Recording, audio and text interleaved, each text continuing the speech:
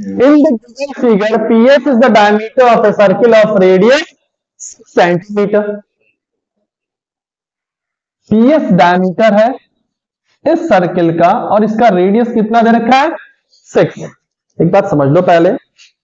ये जो बड़ा वाला सर्किल है इसका रेडियस दे रखा है छह। इसका मतलब ये पूरा डायमीटर यहाँ से यहाँ तक पीएस कितना पीएस की वैल्यू एक बात तय कितनी हो जाएगी?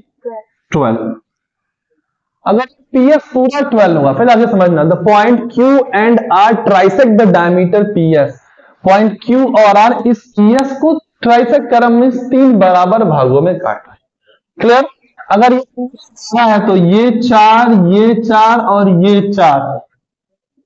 होगा बात? Clear semi circle drawn on P Q and Q S S diameter P Q को डायमीटर मान के एक सेमी सर्कल ये बनाया और क्यू को डायमीटर मान के एक सेमी सर्कल ये बनाया।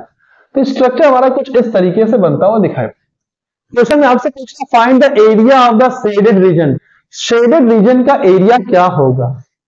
समझो, अगर हम इस सेमी सर्कल में से ये वाला पार्ट निकाल दें तो ये वाला पार्ट मिल जाएगा। और इस पार्ट में इस छोटे वाले सेमी सर्कल को ऐड कर दोगे तो area of the shaded portion आ जाएगा।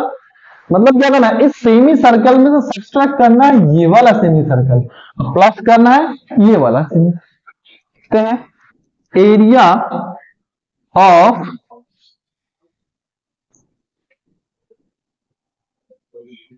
shaded portion is equal to ये हमारा सेमी सर्किल है। सेमी सर्किल का फॉर्मूला क्या होता है? पाई आर स्क्वायर अपॉन में टू अब बात करते हैं, इस सेमी सर्किल का रेडियस कितना होगा? डायमीटर है पूरा ट्वेल्व इस सेमी सर्किल का मीन यहाँ से यहाँ तक ये रेडियस कितना होगा? सिक्स हो जाएगा। ट्वेल्व का हाफ़ सिक्स तो यहाँ जाएगा पाई इंटू सिक्स का स्क्वायर क्लियर माइनस हमको करना ये वाला semi circle pi R square upon two होता है। क्लियर है? तो इस सेमी सर्कल के लिए ये ये फोर मतलब रेडियस कितना? फोर का क्लियर प्लस करना ये वाला सेमी सर्कल पाई लिख दिया मैंने आर स्क्वायर अपॉन में टू तो अब इस सेमी सर्कल का कितना है डायमीटर कितना है? फोर तो रेडियस कितना ये पार्ट कितना हो जाएगा? टू सेंटीमीटर तो यहाँ पर जाएगा टू का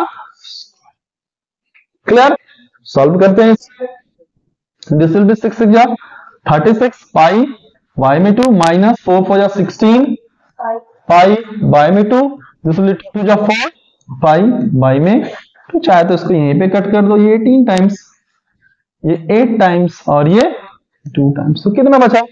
This is 18 pi minus 8 pi plus 2 pi तो 18 माइनस 8 10 और 10 प्लस 2 कितना हो गया? 12 पाई इज़ द आंसर या तो आप पाई की वैल्यू यहाँ पुट कर सकते हो okay that is the answer